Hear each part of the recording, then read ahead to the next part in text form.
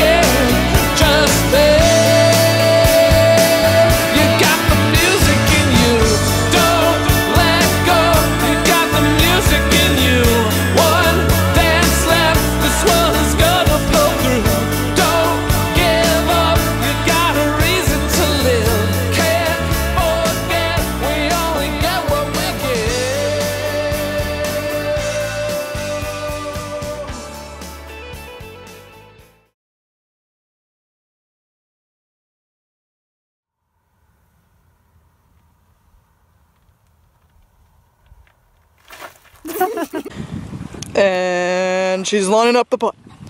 And she's swinging. I don't know how you how do you, like comment on golf. Coming up next on Reality Cap Rock Canyons, the bison. Wow. Look at that. There's a lot of drama happening. Someone just farted. Another one just pooped. Another one grunted. Yep. There seems to be some confusion around their direction and where what's happening next. But it's better than cable. Yeah.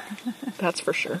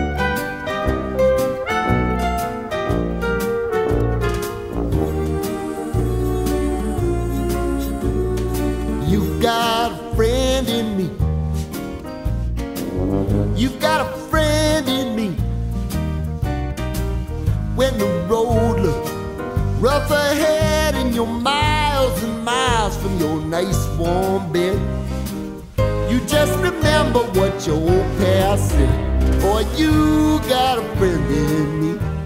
Wh- which way do we go? Paradise. Which way is paradise? There's two options. Metaphor for life. It's a metaphor. More than one way to paradise. Yes, there is. Two ways actually Yep. to paradise. Get in here, buddy. Yep, really, really get up it. Nom nom nom nom nom nom. Nom nom nom nom nom nom. Strike a pose.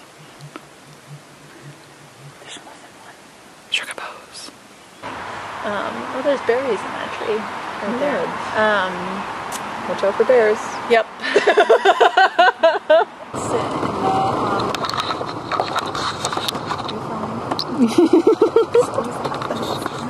It's because I'm always filming. Yum water.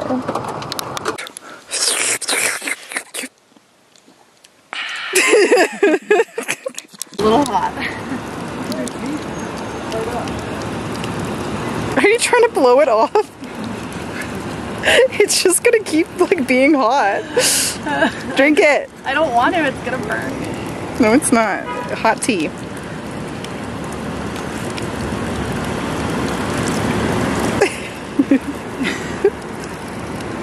How does it taste? Hot. Thermal.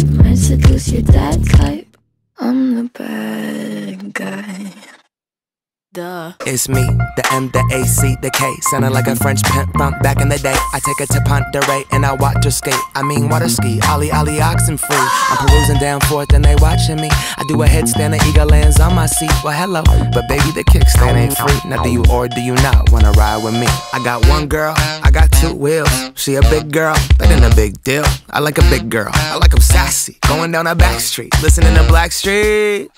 Running around the whole town. Neighbors yelling at me like you need to slow down. Going 38, Dan, chill the fuck out. Mow your damn lawn and sit the hell down. I'm kind of getting hungry again, so maybe we make dinner.